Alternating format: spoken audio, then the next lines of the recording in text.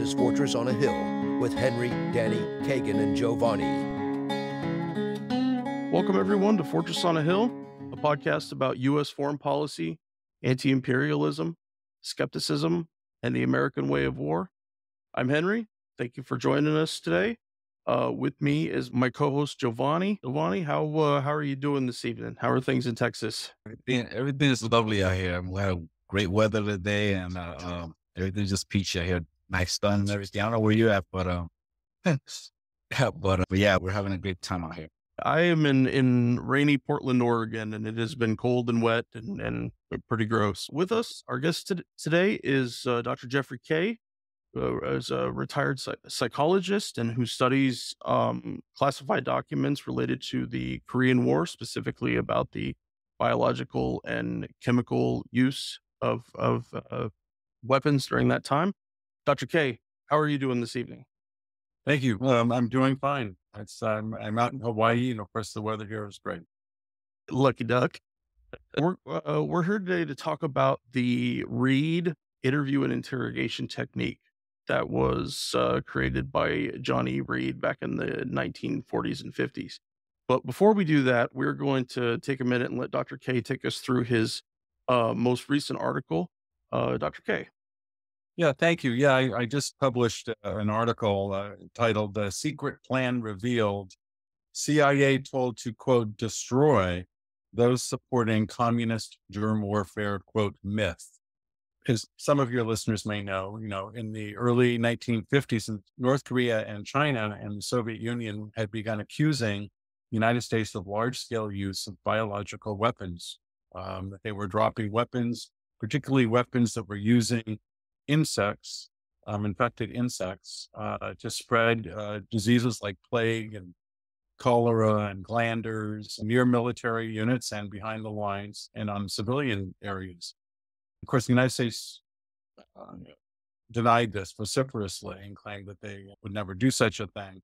But um, what happened was that in uh, May of 1952, uh, the world was kind of shocked when two or uh, two U.S. Uh, officers who were flyers testified publicly on broadcast radio and I think film and, and written confessions that they, in fact, had been involved in uh, their units, their planes had been involved in the dropping of germ weapons on Korea and in China. And, uh, um, and this uh, only accelerated over the next uh, couple of years um, in the sense of more revelations coming out. All told, there were 25 different written confessions by U.S. officers, um, airmen, and a couple of high ranking Marines uh, two of the officers were very high ranking. They were colonels that worked in the Pentagon. And uh, one of them was the chief of staff of the 3rd Marine Air Wing, and the other was uh, uh had previously been working in the Secretary of Defense's uh, of the Air Force's office. Um, and, had, and both of them were had been considered World War II flying aces, were heroes, and here they were testifying to this. So it was one of the biggest controversies of the 1950s. And uh, we still hear echoes today. Those of you who watched the Netflix documentary Wormwood might remember how um, Fort Detrick researcher and uh, connected to the CIA by the name of Frank Olson um, had been murdered uh, by uh, allegedly by the CIA. And uh, precisely because he had become a security risk because he was expressing uh, that he had doubts about this program and also the interrogations program that they were involved in, the United States government. And uh, we're also using drugs, you know, new, in those days, novel drugs like LSD and other drugs and other techniques um, to interrogate uh, people for national security or military reasons. But this, this will touch into the Reid issue because uh, John Reid, who you mentioned, of course, uh, became famous for developing a paradigm of interrogation, um, which I guess we'll talk about. That, uh, but, but Reid himself apparently, um, it's not known if he was involved in, in, the research, but the researchers knew of him and were funding some of his work, the Department of Defense in the early 50s, around the same time. Doesn't mean Reid knew anything about germ warfare in Korea. I'm not saying that that's not true. You just asked me. So my latest article looks at a a plan that came that finally came to fruition in October of 1953 after uh, um, after um, another 19 or so uh, confessions were published by the Chinese about U.S. germ warfare, and kind of uh, the U.S. national security establishment went, you know, uh, ape shit. They were freaking out really, and uh, they were angry, you know, and they were uh, doing their best to, to come up with some way to, to deal with all this. And they had to admit to themselves that the propaganda they'd put out in the previous year hadn't worked very well. So they now were proposing more propaganda, but also covert actions now, which the CIA would be in charge, that would use what they, to quote, personalized seduction and coercion urgently, urgently against persons or groups who were propagating what they were calling the communist biological warfare myth. Um, part of what they were also calling internally a hate America campaign being run, and all of this from their mind was all being run from Moscow. you know, the fact that the North Koreans and the Chinese independently were investigating this and writing about it, talking about it, um, you know, uh, uh, seemed to go past that fly over their heads. In, 19, in, the height of the early Cold War, the Korean War, to the Cold Warriors in the United States government, everything came out of Moscow.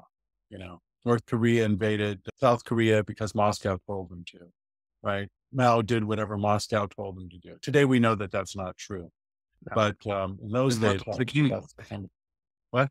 It's including Martin Luther King. Martin Luther King, Moscow. He was an agent of Moscow. That's right. Martin Luther King, another Asian of Moscow. Right. Yes. Interestingly enough, John Reid, uh, it turns out there is a link between John Reid and the uh, assassination of Martin Luther King. Really? Tangentially. That Playboy magazine um, hired John Reid. I know we're skipping around here, but I just, I, I might forget otherwise. Playboy magazine at one point hired John Reid to uh, give a lie detector test to, um, you know, what's his name? The, the alleged assassin of uh, Martin Luther King. Um, uh, James Earl Ray. James Earl Ray, yes. And of course, it came out and said, yes, of course, Reid said that he was validated that Reid, uh, that, that Ray was lying about not killing King and that he was, you know, therefore he must have, he failed the lie detector test and he therefore had to be the assassin. So it's just kind of an interesting thing where these people pop up in certain places. Um, there has to be more substantial history about John Reid and his involvement with all of this separate from the Reid technique. As I said, you asked me about John Reid before, and I'd, I'd come across him because of my earlier work about Guantanamo and interrogations and torture. Your listeners may or may not know that I, I, worked as a torture rehab facility in the United States called Survivors International in the San Francisco Bay Area. I interviewed many torture victims, not American torture victims, by the way, but torture victims. Uh, Sad to say, torture is not just some sort of American evil or problem, but it, almost every country in the world apparently practices or has practiced torture. And the United States, with all of the problems it has with its own asylum system, is still in many ways uh, far better than most other countries. And so many people will come to the United States seeking asylum. And um, of course, right now they're trying to, and under Trump it started, and they're trying to keep people from coming here. I worked for, you know, and did evaluations of, of, torture victims and I did some psychotherapy with torture victims as well. So I got to know and identify somewhat with what it's like to be tortured and also what it's like to interrogate someone. Because when you do an in depth evaluation, psychological evaluation of a torture victim, it's kind of like an interrogation. Um, I try to make it as little like it as possible. But how do I say it's like it? Because like the uh, interrogation that John Reid advocates. Uh, his style is the the interrogation is done in private, and yes, my evaluation is done in private. And um, but the difference is the John Reid version of interrogation. They predetermine whether you're guilty or not.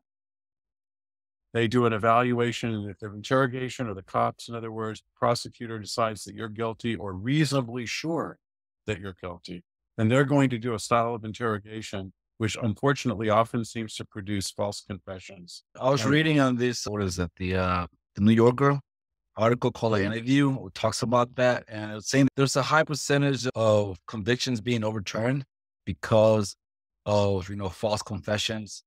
People have been exonerated because of false confessions, like years. I mean, one of the examples that this article gives is a person that uh, that was sent to prison. He went through the Reid uh, technique. Uh, he was, was murdering his wife. Uh, he went to prison. It took him about 50 years to get exonerated. Darrel Parker. Yes. Name uh, 1950s. Yes. Yes. And uh, even though there is a high, there's a high rate of, of cases of false confession, it's still a preferred method within the police department. And one of the things that I've noticed as, as reading this article is when they were talking about the technique that is used, like, you know, how, you know, the interview, then the interrogation, then you start establishing this, this rapport with, with, with the person you're, you know, you're, you're interviewing, you know, you make them feel like, like you're on his side, you're trying to help them out. Wow. You start, you know, you start planting, seeding, you know, different type of, you know, uh, ideas in this person. And at the end of the day, the person, you know, under pressure and everything just end up pretty much adopting, internalizing what pretty much you get what you've been feeding. And when you look at these uh, these police shows, right, they use the exact same technique. You know, particularly if you ever if you ever watch the Law and Order show, you know, it always ends and and the the uh, person, the accused, uh, um, just opening up and just confessing. you know, and they use the same technique. So I just I just want to throw that in there. Yeah, I think believe that article, you know, quotes the Innocence Project, which some of your listeners out there may be familiar with. It was uh, Barry Scheck, I think, from O.J. Simpson trial fame many years ago. Anyway, he runs um, a project using DNA samples to exonerate people who were wrongly convicted. And uh, according to the Innocence Project figures, one third of those that are exonerated had confessed to the crime. In other words, they falsely confessed to the crime, proven by DNA evidence. They couldn't have done it, and yet they confessed. And, you know, it's people will say, why would somebody falsely confess to, to murder or some other terrible crime? Um, I said, it's a very good question. But as it turns out, you know, uh, everybody on some level has their breaking point. In the case of, of the guy you mentioned, Darrel Parker, you know, he broke after nine straight hours of interrogation. Nine hours. Okay. Some people can take nine hours and they're not going to falsely confess. Maybe the majority of people but it has to do with, um, you know, everybody carries around with them uh, feelings of guilt. Everyone can tolerate only so much stress, you know, de- depending on who they are and the things that have happened to them in their life. I would imagine many of your listeners, if they think about it, have probably on a very small scale, in fact, admitted to things they haven't done, but, but, but just on a very small scale, right? Just because, well, it was easier to do at the time. But um, the Reid technique uses, I would say, non-scientific. They're not not rigorously scientific. Over the years, the Reid has evolved, and they become sensitized to their critics. And they occasionally, you know, they come up with some scientific bases to the critics against them. You know, such as what is the validity of studying ostensibly false confessions uh, uh, among a bunch of college students in a lab and some college campus have to do with an interrogation room where I'm bringing in, you know, somebody for mass murder. Mm. So uh, they're saying it, it doesn't transfer over, but that doesn't change the fact that the Reid technique is based a lot on anecdotal police culture passed down over generations kinds of things. It certainly was a step up from the third degree where you take a, a lamp, you know, shine somebody's face, don't let them eat, don't let them drink, shout in their face for hours on end, and until they confess to something. Maybe you beat them up a little bit or threaten to beat them up or threaten to hurt them. You know, the Reid technique, even at the beginning, specifically said you don't use coercion, force like that. But they were doing other things that were kind of dubious and that psychologically were contributing to false confessions or appeared to be contributing to false confessions, such as keeping people isolated, you know, sympathize, you know, kind of uh, telling them that we know that you did it. We have all the information. We're just going to fill in some of the gaps. Wasn't always uh, being sympathetic. They also uh, used the good cop, bad cop routine. You know, sometimes, which is also known as Mutt and Jeff, which is a bad cop comes in and says, you know, you piece of crap, we know you did it. I should beat you to a, you know, no, uh, you're not supposed to say that in the Reid technique. You're not supposed to say I should beat you up, but he would say, you know, you're just the lowest form of scum. And, you know, what will your parents think of you when they find out that you're a rapist, you know, and all this stuff. And, um, you know, just keep them at that. And then the good cop comes in and says, what are you doing? Get out of it. get the guy, you go in the other room. And the good cop will sit down and say, you know, that guy, I'm so sorry. I, you know, really, I, I, he's probably a lot of stress in his life. He shouldn't be saying these things. I get it. I get it. That the woman mm-hmm. who uh, was asking for it, right? right? She was wearing the skimpy dress and everything, and teasing you a lot. And, you know, I think anybody might have done what you did. Meanwhile, if the person is innocent, this is, you know, by presenting them with a false dichotomy of one way to go or the other way to go, leaves them almost no out except to choose one of the two ways, either of which ends up in a false confession. And that's that kind of subtle psychological manipulation, whether meant to be manipulative or not. I don't believe that all the false confessions were false because um, they said at the cops or the interrogators set out to produce a false confession. Sometimes I think that did happen, but I think probably more often you would get what's called confirmation bias. They would look at you and say, well, because you're a black man or because you're, you know, homosexual or because we don't like your looks or because we found a couple pieces of evidence we're a lot of under a lot of stress to solve this crime, you know, in my mind, I've already decided you're guilty. And I'm going, and when you do that, you know, this is true in life in general. In my mind, I've already decided that uh, Putin's invasion of Russia is evil, and there's to be no possible reason to to to make that you know, there's another side to that story at all, right? Confirmation bias, and anything I hear gets screened out based on that. The same with someone in the interrogation room. The one case that I looked at in any detail was the case of, know, it wasn't specifically a Reid technique, but it was very similar, probably informed by that kind of uh, training um, on some level of a, of a Navy cryptanalyst back in the late 1990s by the name of Daniel King. He was a uh, he worked for the NSA. Real he was he he was a Navy he was a Navy petty officer, I believe, but he was assigned to the NSA to do cryptana- cryptanalysis analysis, and um, they accused him of giving information. I forget it was to the Russians or the Chinese or somebody and uh, they did the same. They didn't take. They took him to a hotel room somewhere and just kept him under interrogation all day long, and and used that kind of good cop, bad cop, and uh, until finally there he was saying to himself, I, "I don't remember myself. If you're saying I did this, then maybe I must have done it." You know, I, I, let me speak to a psychologist. Maybe you can hypnotize me, mm. and that will get to the truth. You know, of course, and, and then finally he confessed. Going back to that, uh, Going back to the, uh, the example you gave about the good cop, bad cop, right? Is there also linked to that also to the whole, you know, prisoner's dilemma, the same, the same technique? Uh, the, about the prisoner's dilemma, you know, um, you separate the two prisoners or two, right. And then, you know, you pretty much play them against each other one night. Yeah. I've come across that before, but I, I don't know that they use that particularly. I think that was often used as a logic thing. I mean, maybe I, I don't know. I'm not familiar enough to know if that has fit in or was used as part of their how that fits into this paradigm that they've used. I in, in you know I read recently you know read in partly in preparation went back and reviewed. I had a copy luckily of John Reid's criminal interrogation book.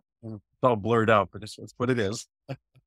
Probably the second edition, and there was nothing in it like that. So eh, they almost don't rely on any um, academic or uh, uh, very little, at least at least in their heyday. Maybe today they do more, but uh, I'm not familiar with enough to, to, to comment on more on that. I'm.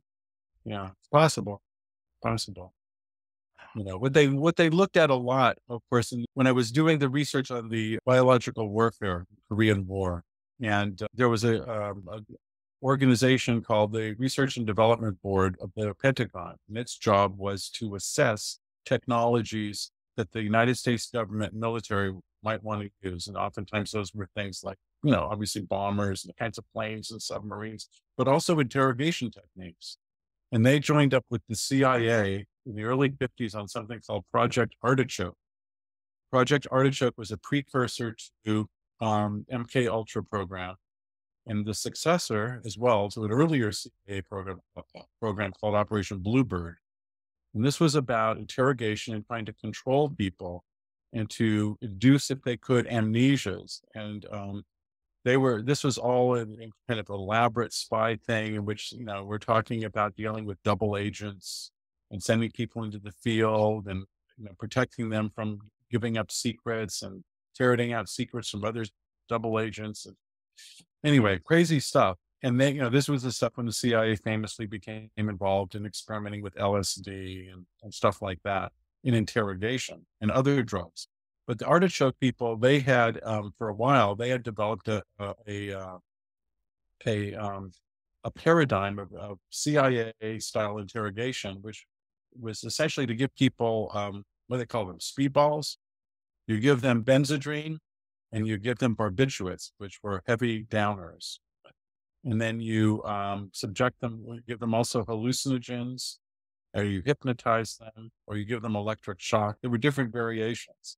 And the idea was to regress the person and to make them talk, of course, and um, and to be able to maybe implant ideas in their minds to control them, um, and to turn them perhaps, or to make them even, as the famous movie, the Manchurian book, Manchurian Candidate said, perhaps even to program to be assassins, assassins who would forget what they did once they assassinated the person.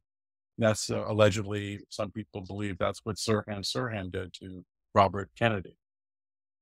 Hmm. So, um, in, in, in one of their reports that I ferreted out from the early 50s, they're talking about the kinds of research this this joint board of the of the Department of Defense and the CIA kind of research that they're looking at to justify um, the work they're doing on the artichoke um, project.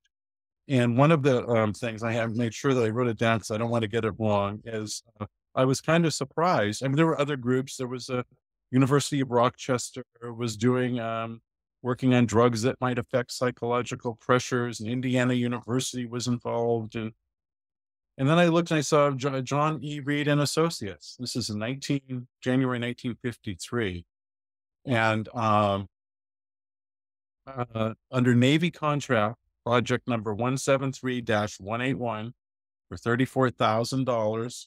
That's in for fiscal year 1952, 1952 dollars, $34,000 according to what I looked up is equivalent in today's money to about $385,000. That's a fair amount of money to give for an interrogation project to uh, little John E. Reid, who's uh, Johnny Reid and Associates, a company in Chicago. And what was the project supposed to be? On, on interrogation devices and procedures. Um, the project was to, quote, develop novel and easily used methods of causing lying subjects to think they have betrayed themselves. So, first of all, how do you know someone's lying? Right? Isn't the whole point of the interrogation to determine whether or not what a person is telling you is true or not? But if you already presume that they're lying, this is the whole methodological problem with the Reid technique in general, is they have these methods and they claim, mostly they claim that uh, they use nonverbal evidence to tell that, you know, that, uh, you know, I'm, I'm swallowing too often or I'm, I might, you can't see or I'm tapping my head and I'm a little nervous, I seem nervous. You seem nervous. Uh, you must be guilty my mouth is dry, all of these nonverbal or physiological things.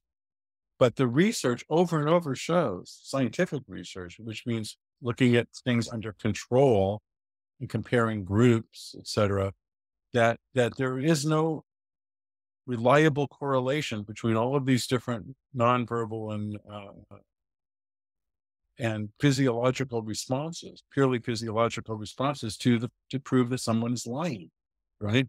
just because I'm, um, when you say, uh, did you kill somebody? And I look up like this, uh, uh, no. Ah, he looked up and to the left. That means he's lying. My cop's instinct tells me he's lying. I mean, they've done research to show, you know, where they, uh, you know, they've looked at what a police officer thinks and feels about somebody's guilt or innocence, and then uh, what it later turned out to be, and, and it's no better than flipping a coin.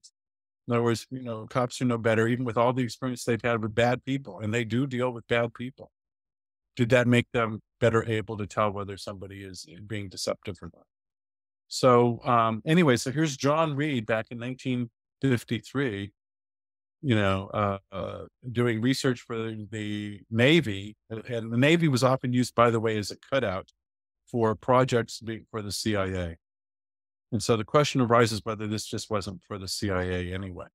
And certainly 10 years later, 1963 or so, when uh, uh, the CIA internally put out a manual for interrogation, which today is, seems is known as the KUBARK manual. KUBARK was the CIA's own name for itself. It's counterintelligence uh, interviewing and interrogation, um, in which they um, spent about a third of that manual describing coercive techniques of interrogation, use of drugs, sleep deprivation, you know, uh, threats of harm, uh, sensory deprivation, other kinds of things, solitary confinement, um, as ways to uh, to coerce people to confess. That's So- what they call it now enhanced um, interrogation technique. huh? Yes, and then and in fact, I when I saw that, I said to myself, this has to be related to the earlier M- work that was done in KUBARK and MK Ultra. And sure enough, that was finally validated in a document that was released via an ACLU lawsuit. And there was a, a memoir, an internal memoir by um, the head of the CIA's Medical Services Division. They were involved in the enhanced interrogation program. And his memoir is his memory to some kind of internal board about what uh, what went on, what went down after 9-11. And uh, yeah, he made it quite clear that there was a group of people who were quite enamored with MK Ultra.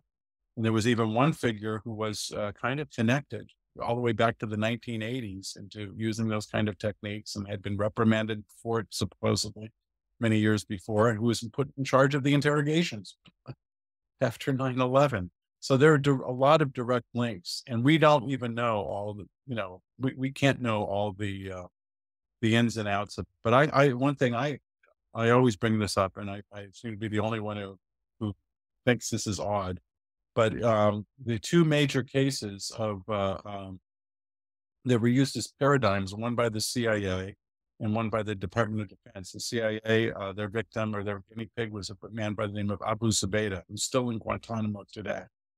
And the other was a man recently released only just, I think, earlier this year from Guantanamo, Mohammed Al Qahtani, who people might remember Time magazine publishing the interrogation logs um, of Al Qahtani's interrogation, where he was, you know, spun around in a chair and you know, uh, forced nudity and dogs, you know, threatening him and all sorts of stuff. Um, he was their first, you know, he was their model prisoner. Uh, they were first testing out their theories of coercive interrogation after 9 11. Both of these men had had experienced serious head trauma in their, as, when they were younger. And uh, Qahtani, in fact, apparently had been was had become schizophrenic, and, and they knew this all along and covered it up. Um, Abu Zubaydah um, had, had uh, ter- epilepsy, um, seizures as a result of his terrible head injury. So, is it just coincidence, or what are the chances the two primary figures used to to begin and to and to test out their new theories of torture? Both were people who had had se- severe head trauma, a history of severe head trauma. History of severe head trauma is not a typical thing. You know, if you think about in your lives and yourselves and your listeners, how many people do you know really who've had serious head trauma? Not, you know, maybe one or two, but you probably know, uh, you know, dozens, if not hundreds of people. Going back to what you were saying about the uh, Guantanamo Bay, I, remember, I recall two. While, while, you, while I was hearing you, I recall two incidents in that time. Um, one was uh, Jose Padilla. I don't know if you remember him. He was a Yeah. former uh, former gang member from Jeff, um, Chicago, I believe. Okay. Uh, convert to uh, Islam, and Yeah. apparently he got picked up by the FBI. You know, he was uh, he was about to go to, uh, I believe he was about to go to Iraq or Afghanistan to join the uh, the Mujahideen and, and fight or whatnot. Anyway, um, so he got picked up and and he's kind of disappeared. And you you didn't hear him, you didn't hear him, the president talking about him again. You know, at the time when he got picked up was a real sensation, but you didn't hear him again until like months later, probably a year later. Uh, he was a trial. He was a trial, and then he was kind of uh during the trial. I, I recall seeing uh, like images. He was kind of like in uh in the infantile stage. You know, he was in he was kind of disoriented. Like he was all there. You know, um, that's one, and that's one of the things I was, you know, that came to my mind as I was hearing you about, you know, about Yes. epilepsy and all that. And there's another case that also from that era was about this woman. Uh, she was an uh, American um, American Muslim woman, I believe, uh, Arab woman, Arab descent. but Mhm. she, um, um, apparently, she was going to join via the fight, and also she got picked up, got arrested, um, and then she disappeared from the media. You hear from her Mhm. again, and all of a sudden she just appeared somewhere, like in Qatar, somewhere in, a- in a CIA interrogation. Uh, Yeah. thing, and then she shot the she shot the agent, and she got killed. Um, Yeah. uh, do you remember? Do you, do you recall those cases? Yeah, that, her name was Aafia Siddiqui, Siddiqui, and she was uh, related to Muhammad. Uh, uh, um, um, what's his name? Supposedly the mastermind of 9-11. Uh, who's in Guantanamo today. Uh, um, K- uh, uh, K- KSM, uh, Khalid Sheikh Mohammed. Sheikh Mohammed. Yeah, so she's related to him, and her children were taken from her. Yes, I don't know that that, that whole story is, is very mysterious and uh, obscure, and I don't have enough information about it.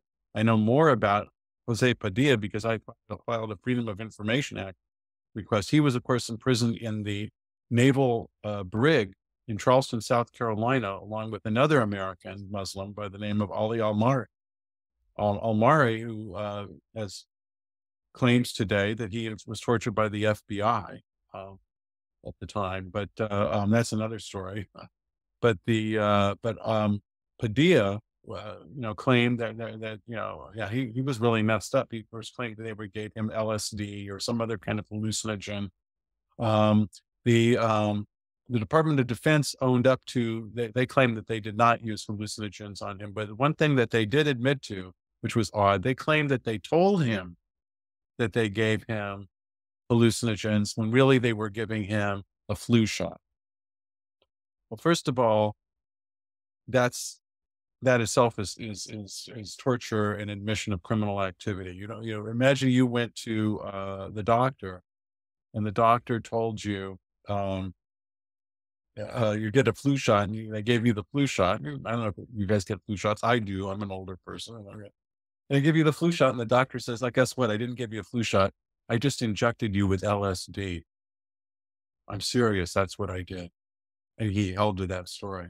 I mean, that guy would be, if if it ever came out, of course, that guy would lose his license and maybe even prosecuted for criminal, you know, behavior. So um, anyway, they did that. They admitted doing that to Jose Padilla, and who who knows what else they did to regress this guy. And that's the behind all of this. There was a uh, a theory to the interrogation that's used by the U.S. government, um, the coercive interrogation, the psychologically coercive, and they, that um, it was uh, um, developed by you know some famous psychologists, um, and it was published in a, a, a journal actually called Sociometry in the mid '50s. And the paradigm they came up with was called DDD, three Ds, because I kind of made like a formula, and it was uh, dependency, uh, um, debility, and dread. What are these things? Dependency, of course, is to to re, they want to regress you to which you're totally dependent on your captor, right? No matter what you say or do, can't even, you know, go to the bathroom unless they tell you, right? And you know, you can't do anything. You're totally dependent on them for your life and for everything. Dread, of course, is fear. I dread, you know, to instill a sense of dread in somebody. Constant dread breaks a person down. And then finally, debility is just a fancy word for weakness. To instill weakness by making them weak by keeping them from sleeping, sleep deprivation, while using stress positions, and also uh, um, kind of partially starving people. Uh, uh, kind of, that's what they do. You know, give you a, a and, and you, they do this at Guantanamo. They did this. They've admitted to doing uh, cal- caloric a restriction of caloric intake. Not enough, they say, to harm you. But why are they doing that at all? Are they doing it to save money? No, they're doing it because they're trying to break you down, to re, and to regress you. And what happens is all those things affect physiological brain function. Um, and this was recognized by the CIA's own researchers back when they were doing MK Ultra. They looked at all this stuff and they said, well, if you do these kind of things to people, they won't be able to function too well. And there's an, an Irish researcher, uh, Shane, Shane O'Mara, I think, who's written about this saying, yeah, these aren't serious interrogation techniques because what they do is they reduce your ability to remember. They inhibit your ability to uh, recall. You know, if you're starving and you're tired, you're you're you're living in fear of, of something, um, it's going to be really hard to remember. So, what are they really doing? Um, as, as you know, so there's a, a weird line between interrogation and uh, manipulating people to control them, or in the military parlance, to exploit them for propaganda purposes, for show trials, you know, uh, or for uh, perhaps to turn them into be. This happens a lot more than talked about, to turn them for intelligence purposes and make them into double agents, or just their own agents if they weren't double agents, right?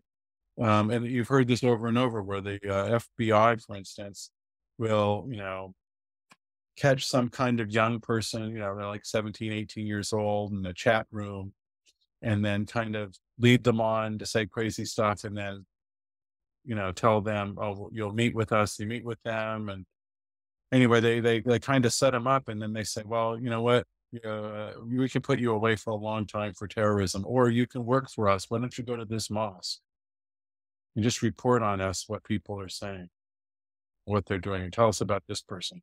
Now, Guantanamo, one reason that they hate or they hated uh, Julian Assange so much for so many re- different reasons, but in, in terms of Guantanamo, um, WikiLeaks released a, a, slew of all of the um, of what they had anyway of uh, um, of the detainee files of what you know what they supposedly did, who said what to who, and they're footnoted and everything, and what you what the people did, like Andy Worthington, researcher who looked at this, and others, is you could see that they were setting up a crazy quilt system in which this can happen. This kind of bleeds back into the Reid technique too, in which somebody says something, it's a false confession, and now you've implicated somebody else. And then they take that up and go, that's fact.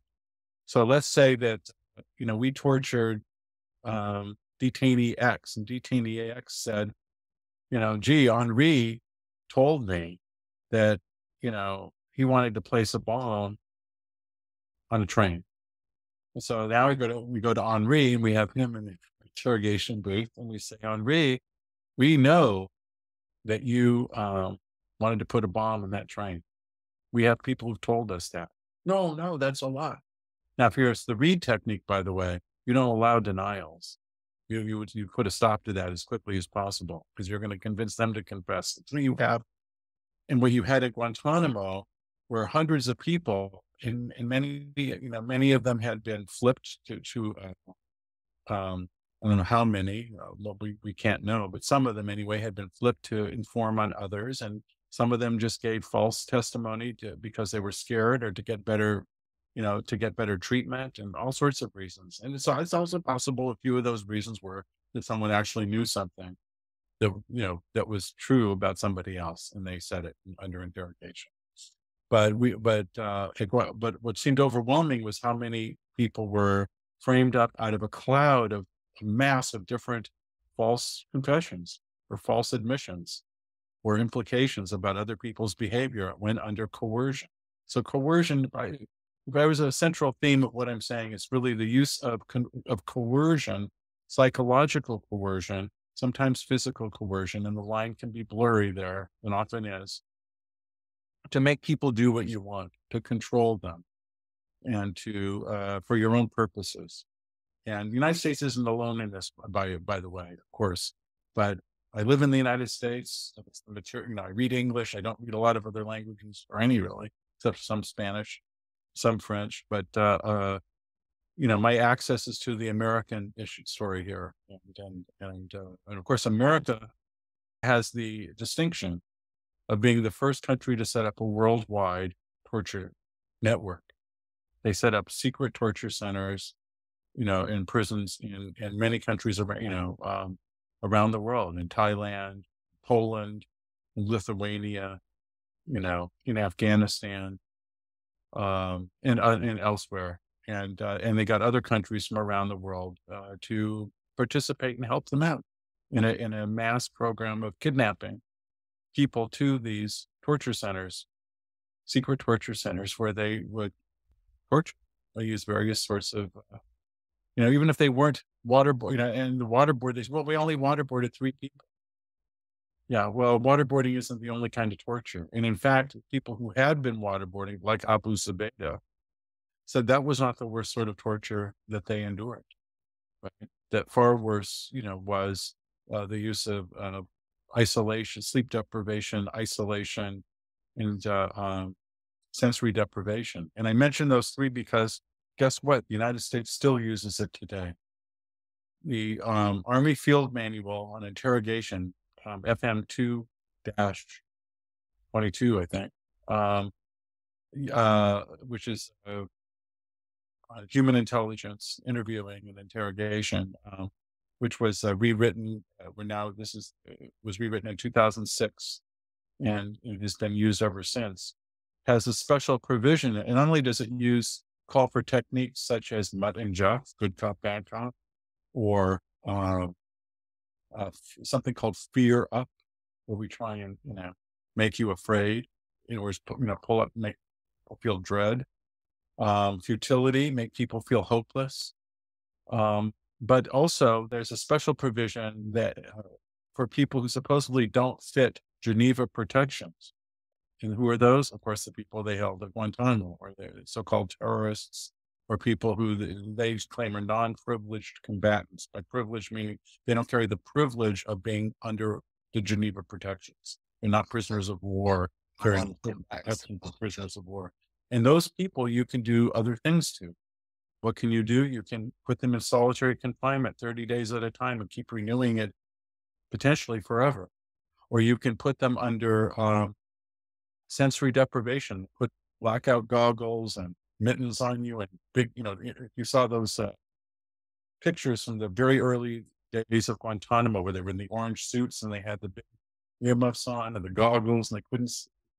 That's that's called field expedient separation. In other words, it's a form of sensory deprivation, which in fact can induce psychosis in people who don't have it some of the earliest research, and I, I did a talk on this, uh, the American Psychological Association back in 2007, and uh, went back and looked at the history of the research of this, and uh, it's it's quite astounding. You know, the the the human, you know, the CIA scientists looked at the human organism, and they tried to de- kind of deconstruct it and figure out what can really mess it up. And one of the things they found was that every human being has a need for stimulation. Every organism does, whether you're a little one cell protoplasm or you're a human being. You're, we evolved for a certain environment, for a certain set of circumstances, right? So we need to eat. That's genetic, right? I mean, that's built into us. It's not like no one can just stop breathing or eating, right? And we also, we need to feel connected to other people. We're a social animal. We're not, you know, somebody who just, you know, hatches out of an egg and then goes off and uh, uh, lives, you know, in solitary. And then one time in his life goes out and uh, mates with somebody you find out in the, uh, in the wild and then die. no, we, we, we're social animals. We live in social communities. You know, if, uh, um, if you're, um, and all you have to do is look at all the literature there is lately about people being uh, bullied online and how terrible it feels to have people ganging up on you in an internet chat room. And why does it feel terrible? Well, because human nature tells us we want to belong and we don't like being, you know, ca- uh, cast into uh, some kind of bad, you know, person and, and uh, um, ostracized, right? To be ostracized is a bad thing. It's not a good. Thing.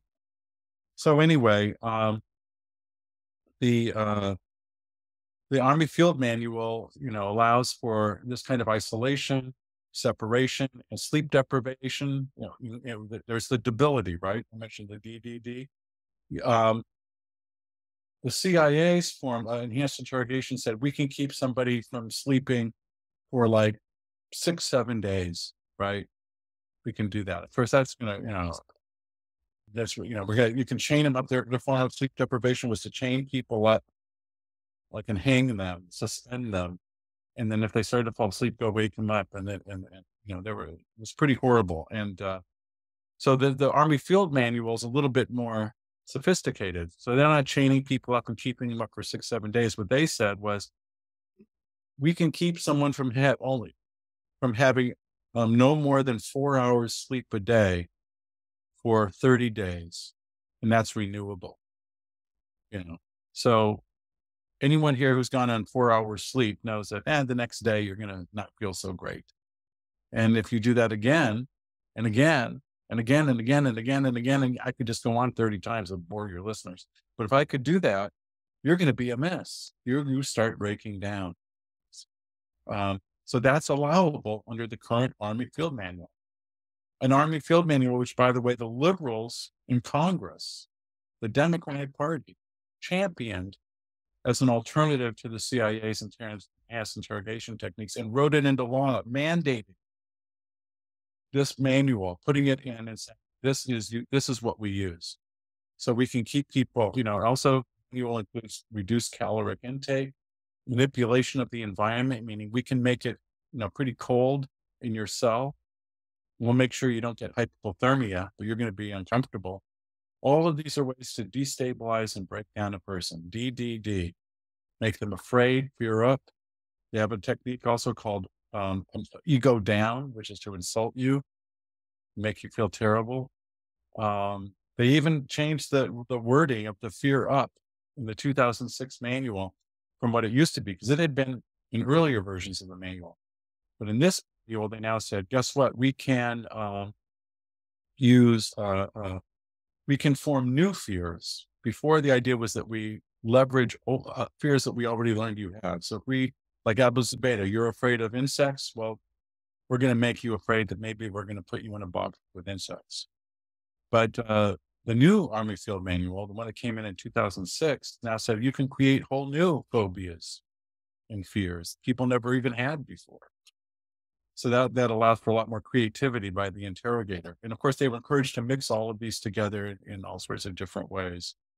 So it's pretty horrific. I mean, uh, and today this has fallen off of the, you know, the human rights groups used to talk about this and they used to make a big deal out of it. And once Obama became president, to be honest, they kind of dropped it because uh, either they hoped he would do something, he said he would, he, he had an executive order, he started a new group called the High Value Interrogation Group that was going to research humane interrogation and do all this.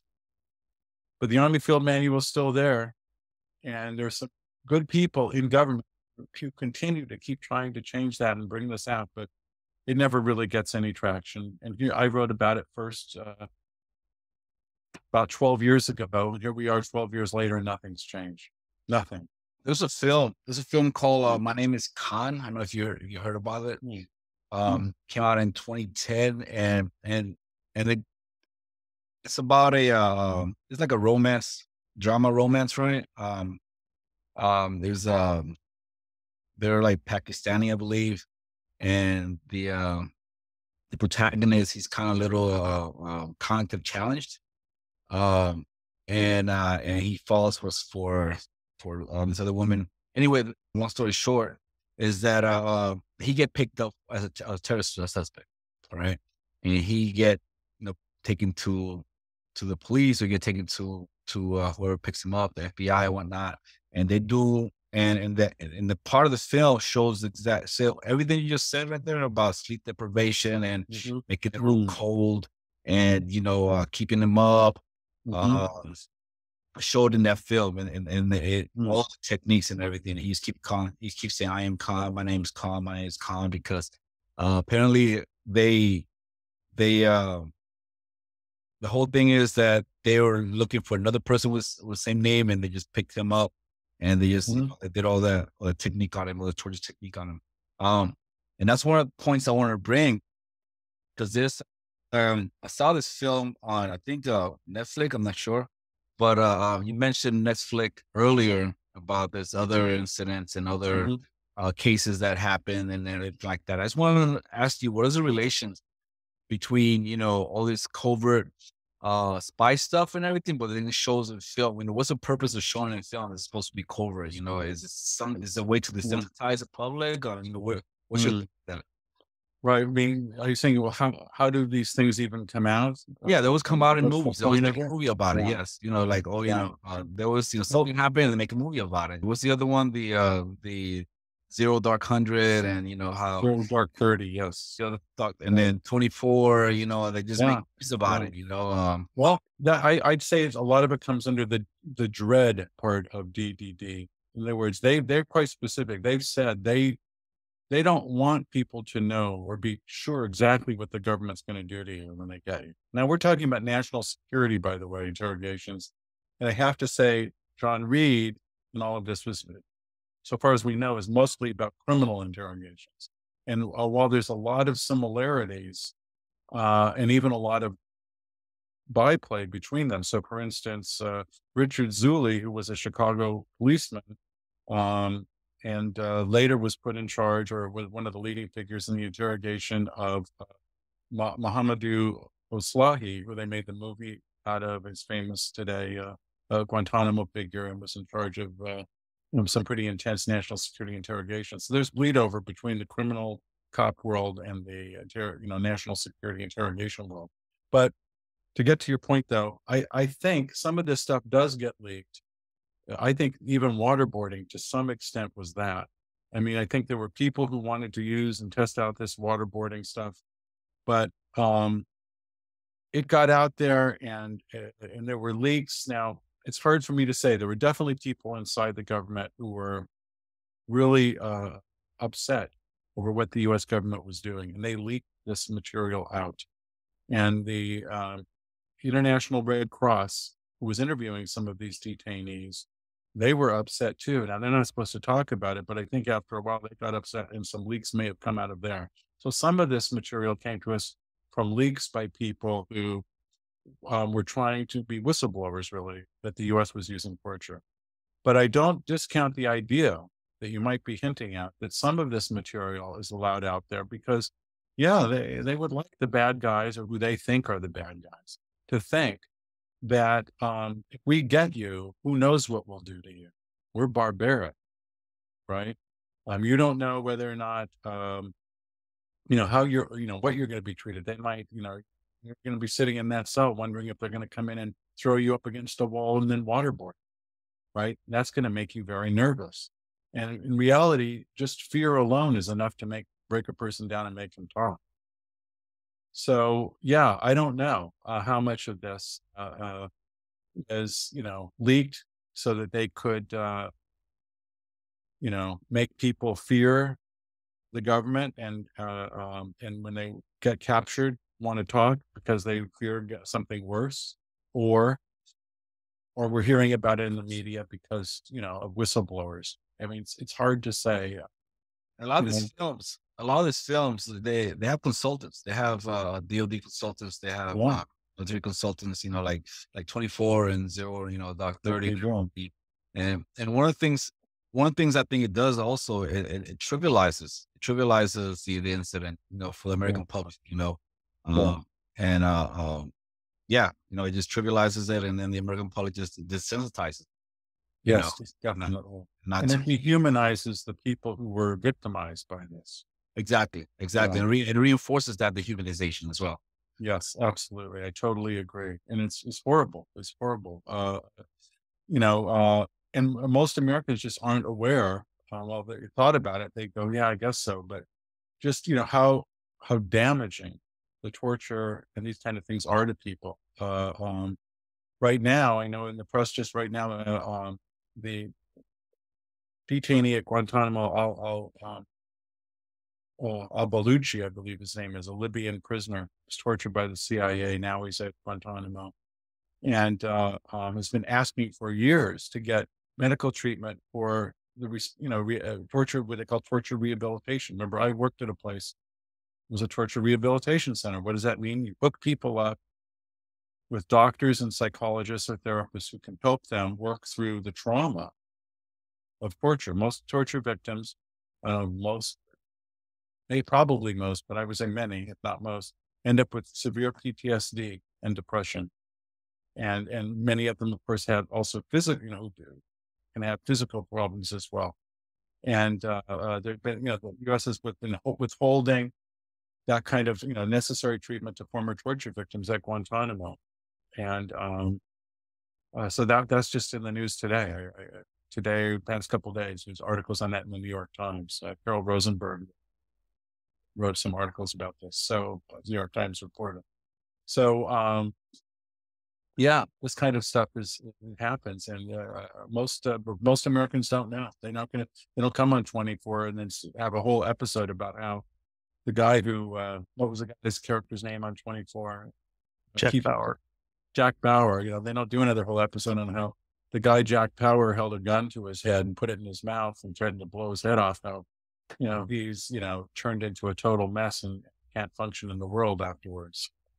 And, and no, it just moves on. Like that's nothing, right? Yeah, it's it's really uh really a shame, really a bad evil aspect about our culture that this is minimalized the way that you talk, or sensate you know sensationalized and then minimized. Yeah. So um, I'd like to I'd like to uh get back to a few more specifics about the um about the Reid technique.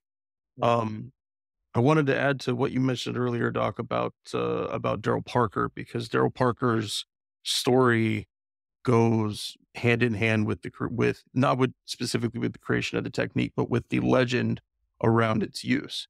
So Darrel Parker's a dude was a dude from Lincoln, Nebraska. He was accused of murdering his wife.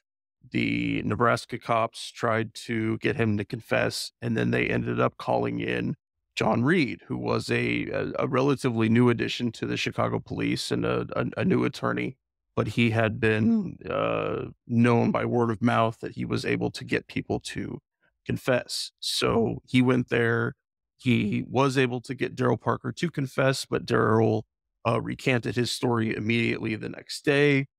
Um, he ended up being convicted of the murder despite recanting and that particular the the info around that was used to cement John Reid as somebody who was capable of doing these kind of interrogations of bringing people in who hadn't been able uh, who other investigators or cops were not able to get them to uh, confess.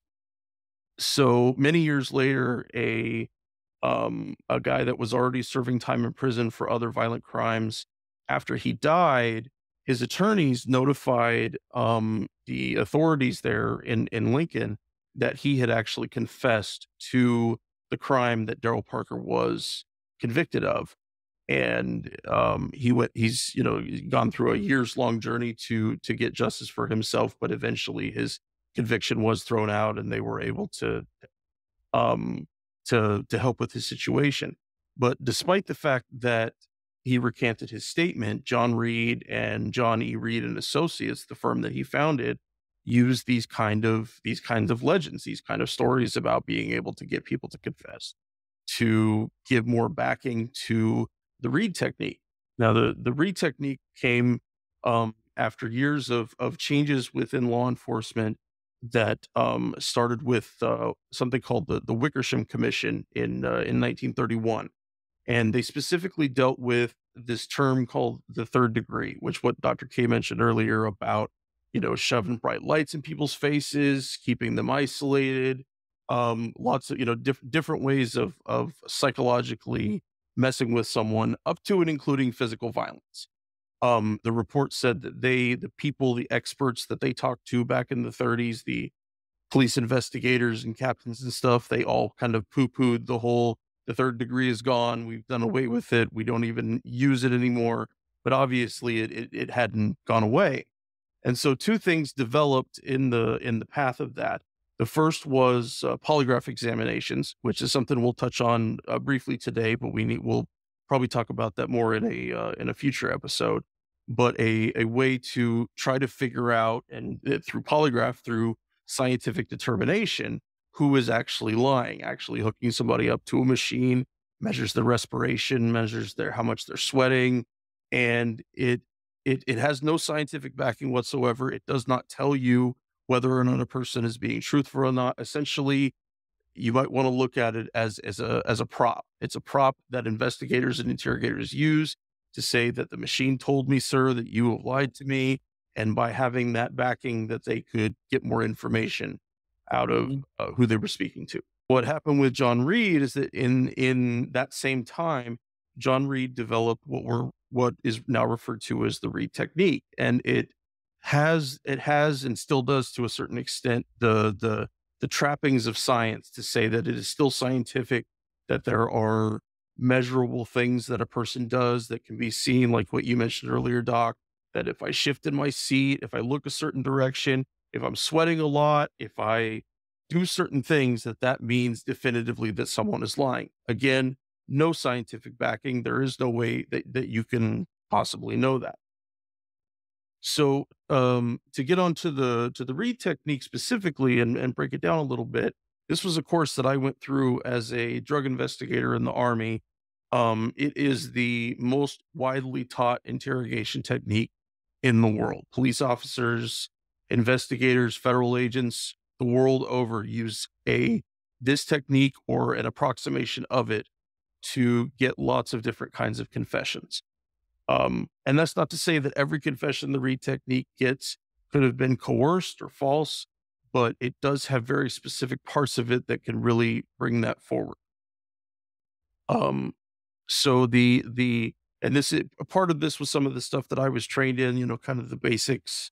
When I became a drug investigator, I had been a, a combat MP, for lack of a better way to put it. Up until that point, I taught Iraqi police in Iraq and, and did other things like that, but I didn't deal really in um, day-to-day law enforcement as far as the military was concerned up until that point. So this was taking this course along with the training I got, then kind of began all that together. So the first step is that you're you want to establish a rapport. And when doing that, we used to use our our CID form that we would fill out for a person's name, address, their unit, their their birthday, you know, maybe some parents' info, but essentially something, you know, you make it nice and casual. You're trying to make them comfortable. You want them to you want them to eventually, when questions begin, you know, to be open to answering. So you're you're trying to make it as uh, non-accusatorial as you can at that point. Um, and then then the next step, and this is really important for all law enforcement, but in the in the army, we use a form called uh, Department of the Army Form 3881, which is giving someone their Miranda rights. And it is a very simple by the book. You go down each step and you let people know that they they don't have to answer any of your questions, that they can ask for an attorney at any time during the, at that particular moment. And we have them, they initial by each specific right that they get, and they sign at the bottom, swearing that, that this is what they want to do. And it, it, at the bottom, you can people can sign it by wa- waiving their rights, and then or they can not sign it and say, "I'm sorry, I, I don't wish to be questioned, or I want to have an attorney." Um, it's important to note about Miranda rights, just in general, that um, it's it's there's reason to believe that innocent suspects are much more readily willing to surrender their Miranda rights than other people because they make the the simple uh, assumption that most of us would is I don't have anything to hide. So I'm going to say yes. I'm going to I'm going to answer your questions because I don't I don't have anything to hide. Um, I have a quote here from uh, Professor uh, Saul Kassin, who's someone who has studied police interrogations in depth. He said, uh, "quote It appears that people have a naive faith in the power of their own innocence to set them free." Um, so assuming that they have now they've they've waived their rights, they've said yes to you as an investigator, and they're willing to sit down and have this discussion, then you begin what under the Reid technique is called the behavioral analysis interview. Right. And it's a series of pretty straightforward questions, and they're designed to give the interrogator a framework to work with in speaking to you. So they'll ask things about, you know, they'll say, you know, do, do, you know anything about the offense in question? Do you know anything about this crime, murder? I dealt with drug offenses, so we didn't have uh, victims per se, aside from the state or the the government. They were the only victims that we were representing, which can kind of make things kind of shady, but we can save that for a for a different time. Um, and that at that time, going through that behavioral analysis interview, that that is the time when you, as the investigator, are looking for cues. You're looking for the cues of touching the face, of shifting in their seat, of sweating a lot. There's so many different ones that people give give uh, backing to. Again, no scientific reliability whatsoever. But for someone as an investigator who's been told they have value, it can be uh, uh, it can be something that is very powerful as far as what the investigator is uh, is looking for. Um, so I'll ask the person, can you please share about what you know about this crime?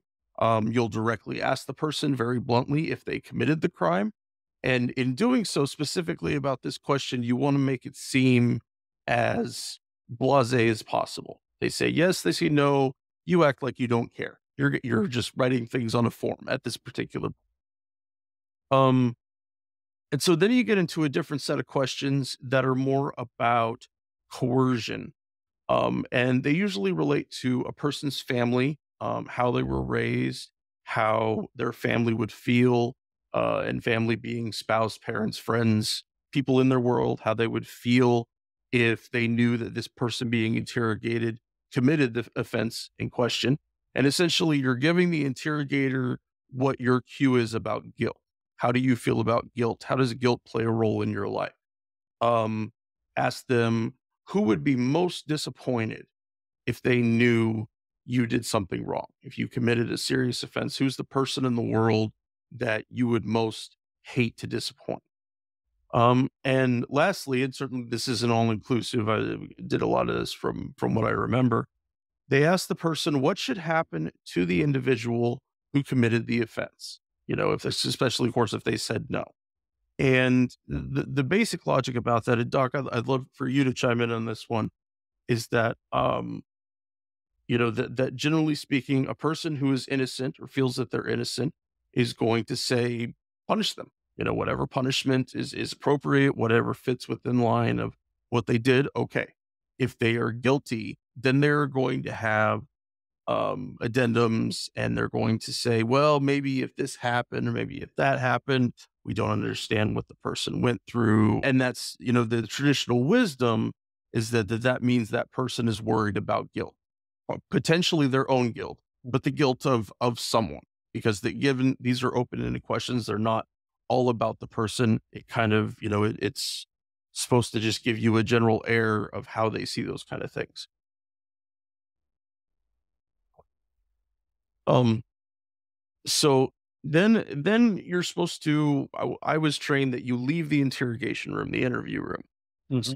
The inter- interview room. I go back to my desk and I sit there for about ten minutes or so, and I watch them on our little monitor thing, and kind of seeing how they're responding to what just happened. And again, none of those questions were supposed to be really direct or accusatory. They're supposed to just be as blase, simple filling out a form as, as possible for the most part. Then after that 10 or 15 minutes, and, and and some of this is stuff that I was taught too. It's not all exactly specific to the Reid technique. Then you return to the interview room and you uh, you give the the person being interviewed something called a theme. And essentially what you do is you develop a theme based upon what you have learned about them how they take in guilt, how they, if they act, and, and of course, if they already admitted to it, like for my instance, did you use marijuana? Well, you know, and they say yes, none of this has to happen. They say yes, we fill out the details, we go through the thing, they get punished, life goes on. That's as far as the Reid technique is concerned. But if they say no, you come in with this theme and you're trying to convince them that it's okay. It's okay that they did the thing that they did as long as you don't give them any kind of uh, reprieve of legal culpability. You can morally and ethically tell them, "Hey, dude, this is bullshit. I'm sorry. You know, you, this is this is this isn't right. I can't believe this is happening to you. I, I, you know." But the thing is, is you're trying to slow walk them into admitting what actually happened, and it can get so dense at certain points and the specific, I remember the specific example given in the course because it's floored me at that time. And it had to do with someone being questioned about child abuse, about actually putting their hands on a kid and, and sexually abusing them in some way. And the tech and the the idea that they gave is that you you you essentially empathize with them as deeply as you can, and you tell them that it's it's not such a big deal it's not such a big deal. And in whatever way that you want to come around with that, that that you know maybe maybe in your own weird way, you were trying to protect this child that instead you were actually abusing. But you give someone the ethical and moral space to let go of their angst a little bit, to, to get it out there. Um, and so at that point, assuming that they have confessed, you'll uh, you'll make a statement. And generally speaking, and I'm I'm for CID, we didn't record interviews, but um, generally speaking, these days, if any aspect of a police interrogation is recorded, it's usually only the creation of the statement. It's not the long, long hours, Right. and then it could be shorter, could be hours, of many, many hours of the beginning of the interview, all the different questions that were asked up until this point. It leaves out a whole bunch of context for anyone trying to look back and say what actually happened in these hours when you were in this room being interrogated. So you'll create the statement. And generally speaking, when I w- was doing that, I wrote the statement for them. They would dictate to me what they wanted to say, and I would type it out. And then I would add in little questions if there were little clarifications I needed to make about what what they had happened. Um, and as far as like for CID, that statement and the and the the rights waiver, the DA form 3881, those are the only evidence of the discussion. Those are the only things that are come out of that room. So whatever actually happened, if anything was actually threatened, if anything was not fitting within what the parameters of things, there's no record of it. You know, at, at best, there was a, another detective or an investigator watching on a um, a monitor or something like that. Um, so that's just and so I, I I- wanted to throw that out for everybody just to kind of have an understanding of what this is really about.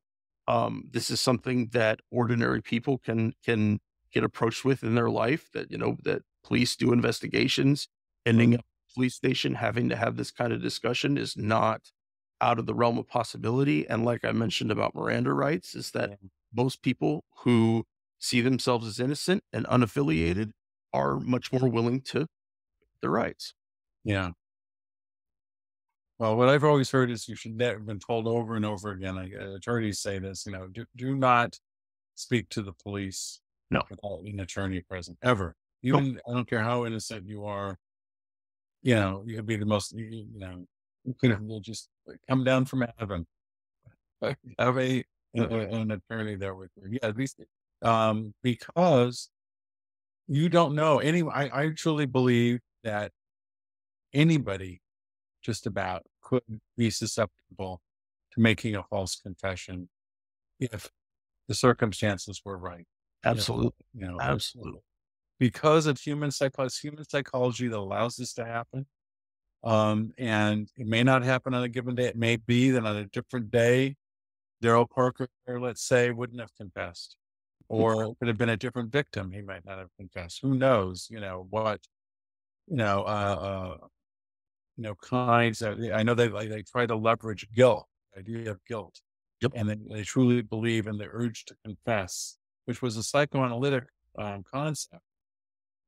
Mm, By the way, um, uh, that was propagated a lot in the early 20th century. Is that you know criminals that there's an urge to confess. So you you see this uh, even in popular fiction and the tell in works of Edgar Allan Poe, for instance, The Telltale Heart. The guy, people do feel guilt and they do want to confess. Um, but thank you for that. I haven't really uh, been able to hear somebody who's been through some of this training.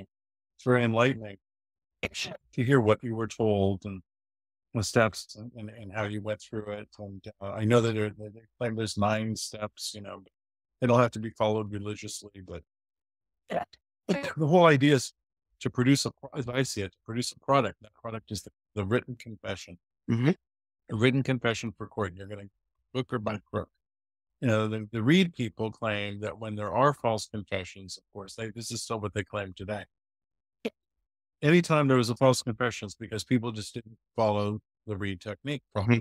Yeah. They were misusing it. They, you know, uh, they didn't understand it. They stepped outside the boundaries to do something else, contaminate, you know, whatever. But, uh, you know, and uh, a lot of other people, of course, believe that no, it's, it's all Kassin, the researcher you mentioned and others, that you know there's something inherently coercive about it. You know, Mhm. um, and um, and I, I I'm in that camp myself, and there is some can, and I know that a lot of inter- you know, people today um, that high value interrogation group that uh, works under the, the auspices of the FBI, I believe, mostly today, but it includes people from the CIA and the Department of Defense. They, you know, they're pushing something called the Mendez principles of non-coercive interrogation. Hmm. You can look it up online, named after Juan Mendez, who had been the UN, United Nations Special Rapporteur on Torture for a while, uh, I don't know, 10 years ago or so. And he, he worked on this and it's inherently non, uh, uh, data driven, you know, uh, content driven versus, you know, you're not you know, informational interviewing, you know, you're not seeking a confession per se, or you're just trying to solve a problem.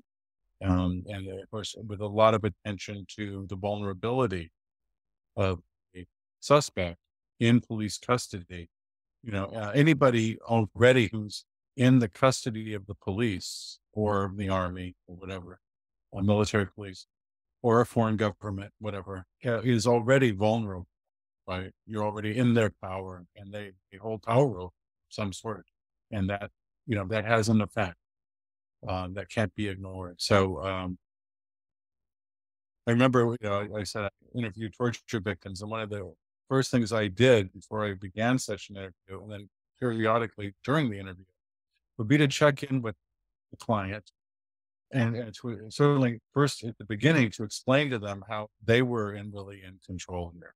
They wanted to get up at any time and say stop, they could. Right. If they wanted to go and smoke a cigarette, they could. They just Make sure that they're able to have their their agency through the entire Right. thing. Right. and- and That they had agency. Exactly. If they didn't want to talk about something, they didn't have to. talk about.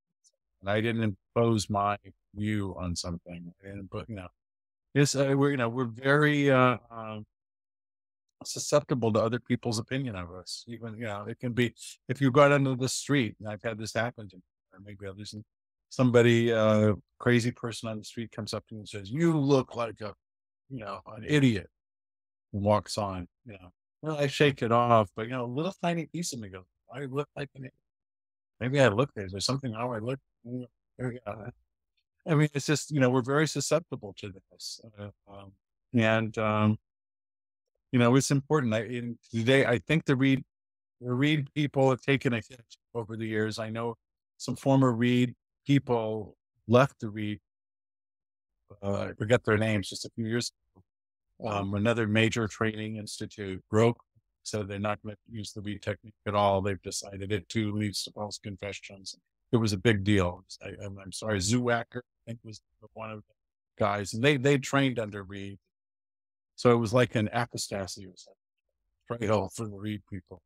You know, the Reid people, you know, they really tried to, you know, they're they're kind of litigious, and uh, you know, they went after Netflix uh, for some, uh, you know, something that happened a few years ago that was set on a Netflix documentary, and you know, they try and preserve their legacy and, of course, their business um, because training is, is big business. Uh, they train CIA, uh, foreign diplomats, you know, police departments, of course, the FBI, and there's a lot of money in that.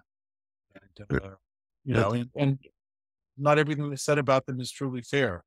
But on the other hand, there are some serious problems they don't really own up to, from my and other people's opinion, that uh, have to do with the kind of inherent coercion to this process.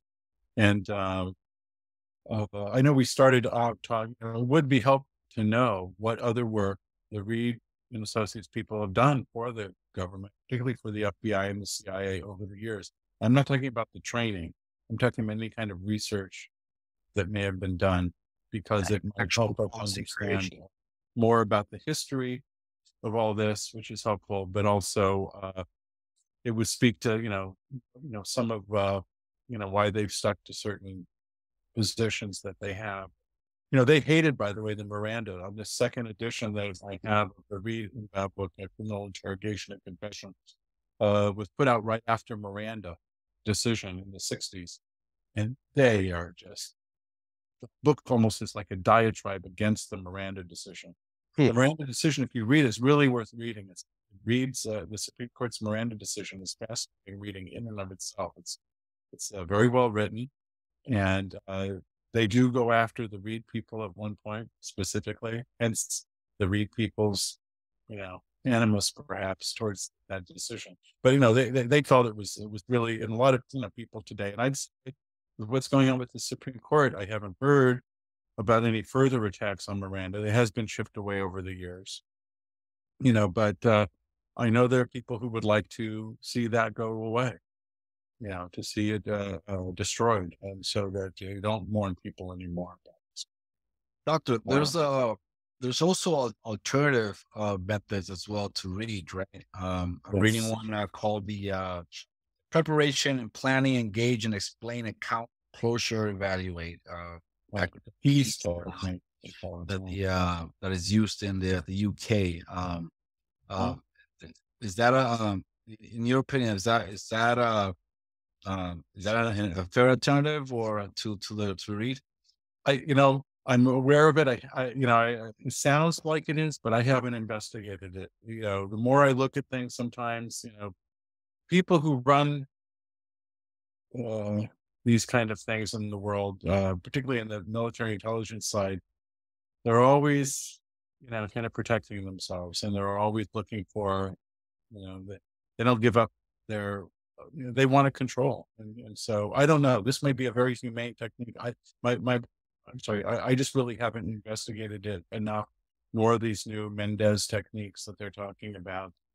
Um, um, I do know that when the high value interrogation group, who uh, is against the Army Field Manual's techniques and putting forth these humane techniques, nevertheless, in their own research on false confessions, seem to me to have engaged in some uh, questionable research behaviors when they went um, uh, some years ago, uh, not that long ago, but into college campuses and, and did uh, research on false confessions in which they took college students and divided them up and put them, uh, uh, you know, to prove how easily false confessions can happen, but put people uh, in a situation where they had admitted that they were cheating when they weren't, you know, and, and told them that, you know, uh, would say things to them, well, how will your family feel when they find out that you were cheating in college and got expelled, right? To make them confess college student, and they were they were not read into this. And then later, of course, they were told afterwards, "Oh, this was all just a research thing." But you know, eh, you know, uh, that kind of that kind of stuff can harm people. So it's very difficult to do research that replicates and um, uh, helps illuminate the, the kind of dilemmas that occur around all of the things we're talking about uh, because of the da- the potential dangerousness, and the vulnerability. We are so vulnerable, you know, the vulnerable uh, ability to. So um, that's why it's hard to assess, you know. So if I were to look at the PEACE thing that you brought up, it's used in the UK or the Mendez, I'd have to do an awful lot of reading and thinking and talking, and uh, I, I just my own researchers have taken me elsewhere. You know, the, the fact that I know something about the Reid technique comes out of my interest in interrogation in general, what I found out in the Daniel King case and what, you know, what, what I was felt I needed to become somewhat aware of what was considered the mainstream interrogation so I could better understand the things that weren't mainstream or that were inherently abusive, like the Appendix M of the Army Field Manual, which uses those techniques I talked about, or the enhanced interrogation techniques you know, how are they really different? Well, okay, I better study and see, you know, what, you know, what is the control question technique, you know, Reid and you know, you know, what is the behavioral analysis interview, you know, that you were speaking to on, you know, and those kind of things. So I had a sense, you know, and, and of course there's, a, you know, turned out, of course, there was overlapping aspects to these, to all of these things, but, uh, definitely the Reid technique is not the enhanced interrogation technique. Um, you know, that's of, a, of another whole, and it wasn't the third degree, you know, but it, it's its own thing and it, uses, you know, it, it, it, it, it uses a form of psychological manipulation and, uh, you know, isolation of the, of the person in a, in a, in a controlled setting that makes some vulnerable people confess falsely to under under under under pressure and manipulation to to something to to end that dilemma that they're in. Like I mentioned, the prisoners, not the prisoner's dilemma, it's just the personal dilemma of being, you know, in this interrogation and being accused over and over again. Um, they say we don't accuse, don't accuse them, but what they say, do accuse them. I don't understand how they can say they don't accuse them. They are. They're saying we have the information, or we'll even say, you know, in the case of Daniel King, they knew they gave him polygraph tests, and they knew that the results of the polygraph test were quote uh, inconclusive. But they went to him and they said, polygraph shows that you're lying you know, and the and the courts have allowed the police to to decide uh, to dis, to lie, really, and to say in the service. Say that was going to mention that. Yeah. yeah. Was it Supreme? Was it a Supreme Court decision that they can lie, something like that? There was this. I, I don't have it in my hand, but there have been there have been, of course, different court decisions, and some of them contradict each other. But uh, yeah, I believe there was a decision that allowed a certain kind of deception. Yeah, was, was allowable. I can't think right now, but I can't think of the name and I can't think of the boundaries deception that were allowed. But uh, it was quite disturbing to me that any deception was allowed. What? Why? We're trying to get to the truth. You know, um, you know, uh, we're a lot more. We understand more today about what happens when people are in a position of power. We've seen this with the, the Me Too movement, and you know, uh, abu- you know, abuse in the workplace, or or making a, a an unsafe workplace, you know, for people in various ways. You know, people in positions of power can misuse that power, sometimes without even realizing they're doing it. They need to be made aware of it because power differential is a real thing. But it, but nowhere is that I think really uh, uh, brought home as as as important as in either a prison in, inside a jail or a prison itself or in an interrogation room, where there you are, you know, um, uh, presuming you've been put under arrest. But even if you haven't put under arrest, you've just fallen under suspicion. Um, that itself is a very powerful, uh, by the state apparatus, you know, a very powerful um, situation, scary situation to be in. So again, if your listeners are listening, what do I do? You get an attorney. Whatever you do, yep, get an attorney. Just remember that. Don't say anything, get an attorney, and they will help you through it. I'll call Henri. I'll at least come bail you out. well, I think that's a uh, I think that's a good place for us to uh, to wrap it up for today. Um, Dr. Kaye, thank you for coming and, and joining us and giving us your time and your your experience. Um, I know you and I have gone back and forth about a a whole slew of other topics to uh, to discuss to go along with these lines. I'm sure at some point, hopefully, yeah. soon, we'll do an episode specifically on the uh, Army's field manual on interrogation. I yeah. think, yeah. that would be a, a, good a good breakdown for our uh, for our audience. But yeah, well, given that I, I, never would have thought years ago that this would still be an issue in 2022, 23. Now we're going into you know, what it is people know the United Nations in 2014 told the United States government, you know, the United States government is a signatory. I know we're going over, but the United States government is a signatory, and it was uh, ratified by Congress of a treaty called the Convention Against Torture, United Nations treaty. Most countries in the world are signatories to this, and say we don't torture, we don't do this. And one of the ways they they put and a mechanism was set up via the treaty to police that because torture is such a problem. And so that means that every so many years, each country comes up for review, and the United Nations reviews their policies and practices and what they, you know, report new reports of torture in that country. And they came to the United States back in 2014 for their review, and they said, "Guess what? Your Army field manual uses things that cause psychosis that could be construed as torture. You need to change that. All right, you need to rewrite that, change that." They were mandated to do that by law because something, I mean, this is serious. The Constitution says if you have a treaty and it's ratified by Congress, that has the force of law in the United States. That is U.S. law. And the, you know, in the, and whether it's the Obama administration or the Trump administration or the Biden administration or much earlier, the Bush Cheney administration, they are breaking those laws repeatedly over and over and over. That thing should have been rewritten and addressed, you know, wait, you know, eight, eight nine years ago, um, almost ten years ago now. And uh, wait a minute, maybe it was longer than 2004. I didn't have to go back. It was a long time ago. I think it might have been 2009.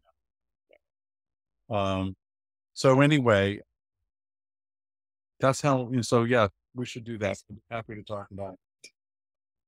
Sounds great, Doc. Well, well, thanks to uh, thanks to everyone for uh, for joining us today. I hope the discussion was uh, educational. I know I, I really enjoyed going back over it and lots of little questions and things. And um, hope to see you guys again next time.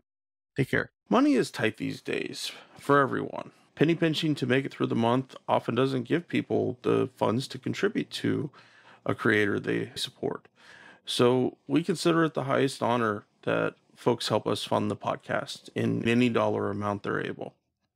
Patreon's is the main place to do that, and for supporters who can donate $10 a month or more, they will be listed right here as an honorary producer, like these fine folks Fahim Shirazi, James O'Barr, James Higgins, Eric Phillips, Paul Appel, Julie Dupree, Thomas Benson, Janet Hanson, Daniel Fleming, Michael Karen, Ren Jacob, Howard Reynolds, Rick Coffey, Scott Spalding, Spooky Tooth, and the Status Quo podcast.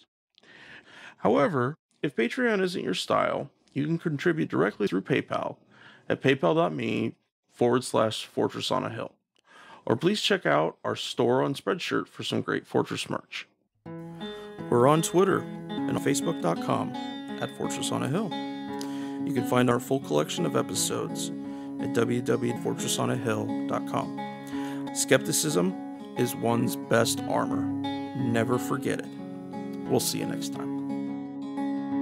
Come on, you good people, and listen to my song.